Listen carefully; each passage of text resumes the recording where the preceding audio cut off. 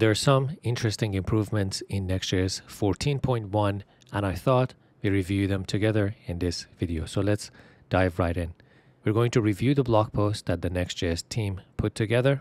Now, a lot of the changes or improvements are developer experience oriented or related.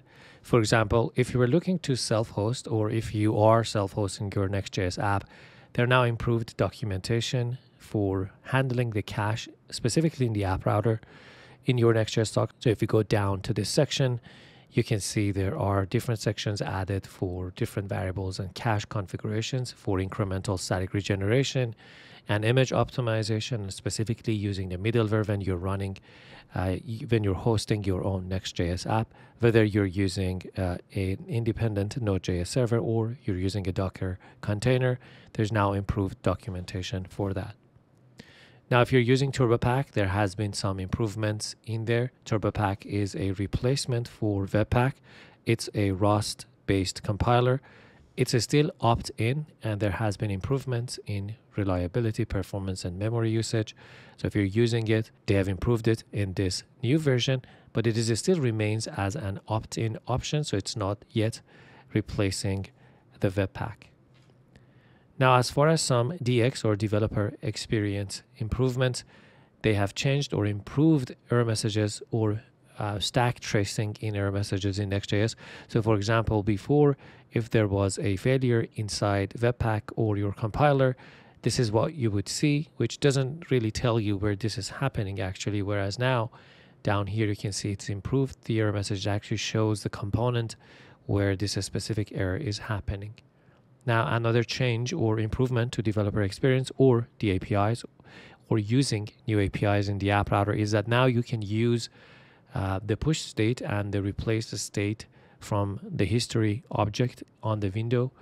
Uh, so you can just directly call these two methods um, to manipulate the history stack inside of your browser without reloading the page.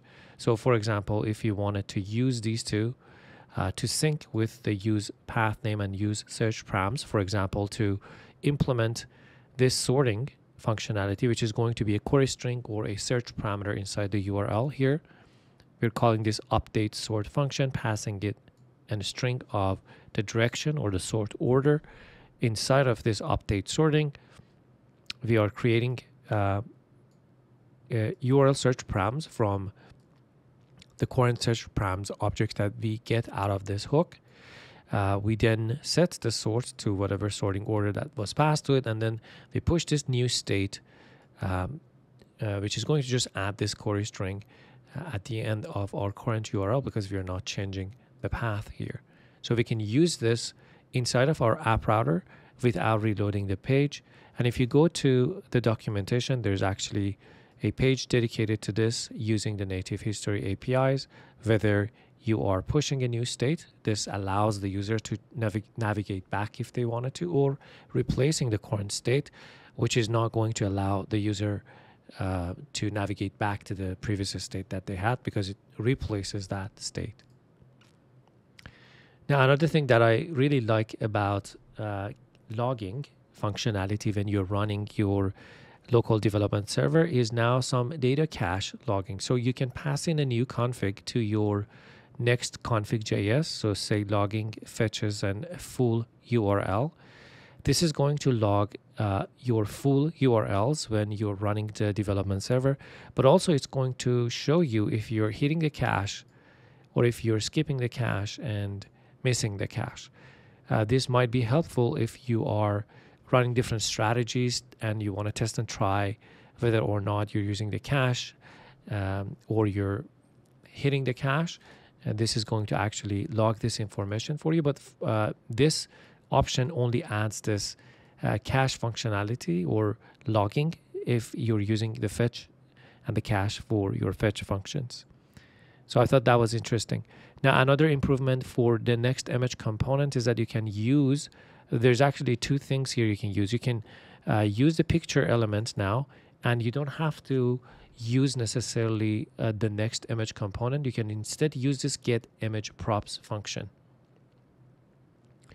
this is why this is what allows you to use the picture element so as you can see here if you're using this get image props if you're passing in different props and right here if you're implementing a dark and a light version of our image depending on whether or not the user prefers a dark or light scheme so definitely read through that i think this is going to enable us to have more use cases for the next image component, for example, in background images, in uh, context, and as I mentioned, in using uh, the picture element inside of our application.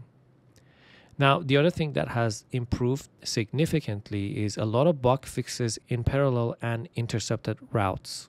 Now, I have talked about both of these advanced routing techniques on the channel. I'm going to include a link in the description or in the card above to those videos. So if you want to learn what parallel routes or intercepting routes are. But from a high level, a parallel route allows you to simultaneously render one or more pages in the same layout. So you can pull in two pages and show them inside the same layout.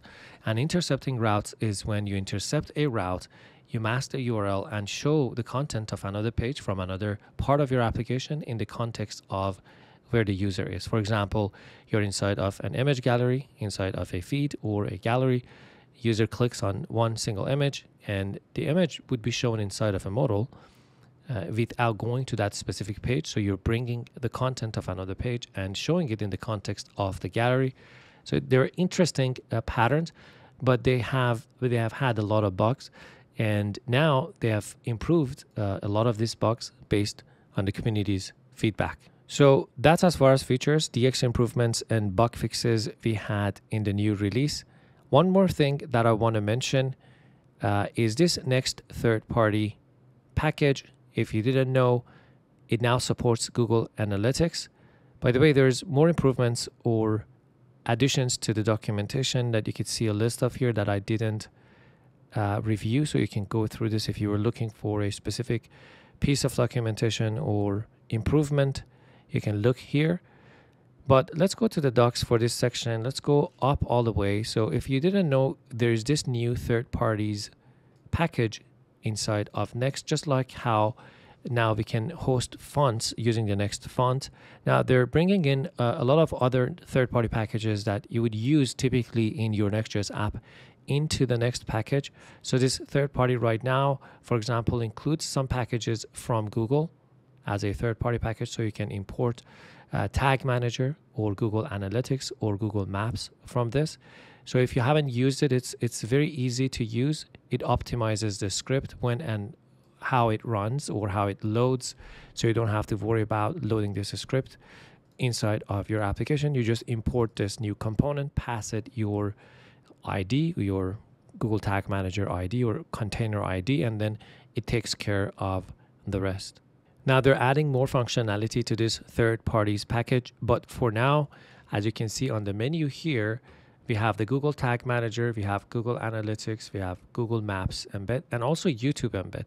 This is also interesting. It's using uh, another light YouTube embed library, which is going to result in loading your uh, videos from YouTube or embedding your videos from YouTube uh, faster. So definitely have a look at this. I'm going to have dedicated videos on the channel on adding these components to your Next.js app. So if this is something that interests you, stay tuned.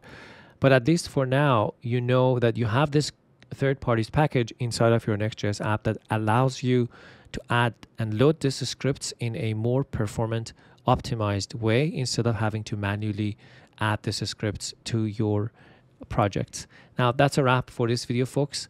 I hope you had an overview of the new features, uh, bug fixes, and improvements in Next.js version 14.1. If you have any questions, like always, hit me up in the comments, and I'll see you in the next one. Bye bye.